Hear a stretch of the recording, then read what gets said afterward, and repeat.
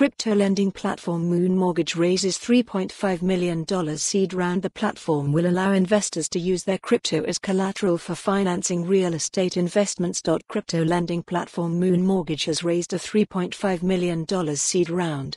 The funds will be used to finance Moon's mortgage lending product, Crypto Mortgage. Crypto Mortgage takes investors' digital assets as collateral and then provides 100% financing for investment properties. Investors can also use Moon Mortgage to take out a loan against the value of their digital assets. People are already incentivized to use their crypto to invest in real estate. The problem is that until now they have never had the ability to, co founder and CEO Aaron Nevin told Coindesk.